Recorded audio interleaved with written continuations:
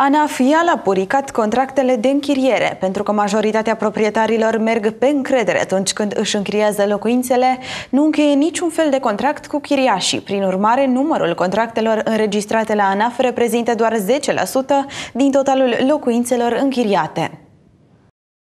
Specialiștii imobiliari au estimat că doar 10% din totalul apartamentelor sau caselor închiriate în anul 2015 au fost declarate la ANAF numai în București. Ca să evite plata impozitelor, proprietarii nu încheie niciun fel de contract de închiriere sau, dacă o fac, încheie contracte pe sume modice. Prezent într-o emisiune la televiziunea națională, șeful ANAF, Dragoș Doroș, a precizat că în cazul chiriilor nedeclarate vorbim despre evaziune fiscală. Dacă fiscul verifica și înainte proprietarii care își închiriază locuințele acum proprietarii care obțin venituri din chirii au devenit o prioritate pentru fisc. În momentul ăsta, proprietarii care obțin uh, venituri din chirii devin un focus pentru noi. Procesul este unul format din mai mulți pași. În primul rând, ANAF va desfășura o campanie de informare a proprietarilor și administratorilor.